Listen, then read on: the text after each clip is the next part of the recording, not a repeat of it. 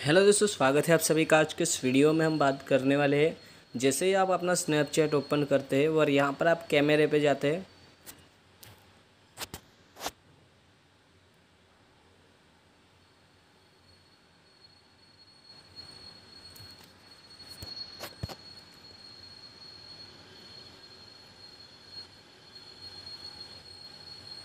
Hello दोस्तों, स्वागत है आप सभी का आज के इस वीडियो में हम बात करने वाले हैं।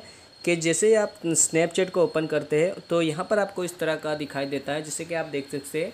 तो यहाँ पर इस तरह का आपको एक नोटिफिकेशन दिखता है to use Snapchat please allow access to your camera Snapchat can to take photo and videos without this permission तो ये प्रॉब्लम आपको क्यों आ रहा है और इस प्रॉब्लम को आप कैसे सही कर सकते हैं? आज के इस वीडियो में मैं आपको बताने वाला हूँ तो वीडियो को आप पूरा ज़रूर देखिएगा।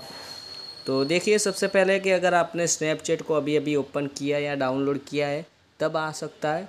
या तो आपने कुछ स्नैपचैट की सेटिंग में कुछ आपने गड़बड़ी की होगी, तब आपको इस तरह का आएगा। तो इसको सॉल्व करने के लिए आपको सबसे क्या करना है?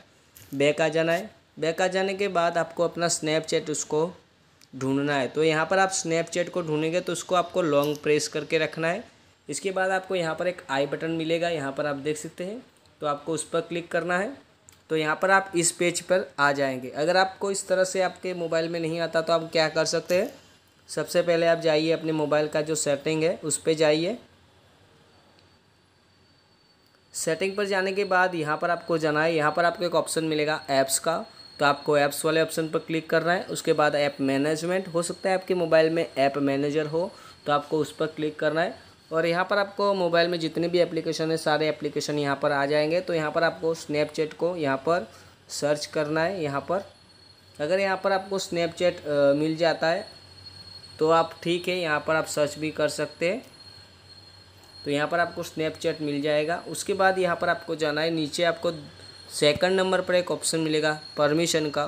तो उस पर क्लिक करना है। उसके बाद आपको यहाँ पर नीचे आना है। नीचे आपको एक ऑप्शन मिलेगा अलाउ नॉट अलाउ परमिशन का। तो आपको कैमरे वाले परमिशन पर क्लिक करना है। उसके बाद allow only will using this app उस पर क्लिक करना है। उसके बाद बैक आना है। उसके बाद आपको क्या करना है? इसके बाद आपको आपका स्नैपचैट इसको ओपन करना है। तो आपका प्रॉब्लम ठीक हो जाएगा। अगर इसके बाद भी नहीं होता तो आप अपने स्नैपचैट को प्ले स्टोर से अपडेट कीजिए। उसके बाद आपका हंड्रेड परसेंट हो जाएगा। तो वीडियो अच्छी लगी है तो वीडियो को लाइक करें। चैनल पे नहीं तो चैनल को सब्सक्राइब करें।